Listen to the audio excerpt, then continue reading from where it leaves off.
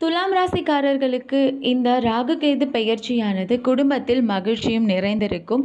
வியாபாரம் அமோகமாக நடைபெறத்துக்கான வாய்ப்புகள் அதிகமாகவே இருக்குது பணியில் தடைகள் விலகி உயர்வுகளும் உங்களுக்கு வேலை செய்கிற இடத்துல நல்ல கௌரவமும் மேலோங்கிறதுக்கான வாய்ப்புகள் அதிகமாகவே இருக்குது திருமண வயதை அடைந்தவர்களுக்கு நல்ல அனுகூலமான செய்திகள் வந்து அடையிறதுக்கான வாய்ப்புகள் இருக்குது கணவன் மனைவியிடையே ஒற்றுமை மேம்படும். குடும்பத்தில் சுப காரியங்கள் கைகூடும்.